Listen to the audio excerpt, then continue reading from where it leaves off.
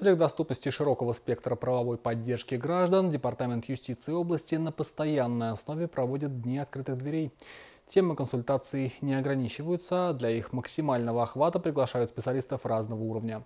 В среднем за такой прием проводится от 10 до 40 консультаций.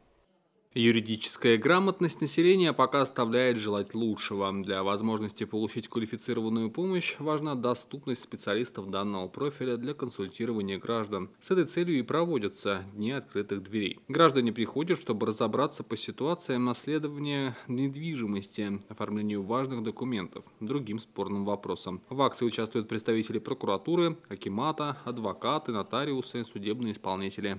Такие мероприятия у нас э, проводятся на постоянной основе. А также наряду с этим у нас сегодня приглашены департамент студенты, молодые кадры. А, они ознакомлены э, деятельностью органов юстиции, а также а, им разъяснены требования при поступлении на государственную службу и э, основные права и обязанности госслужащих. Также разъяснены принципы кодекса, этического кодекса госслужащих и важность соблюдения этических норм э, для укрепления э, доверия граждан к государственным органам.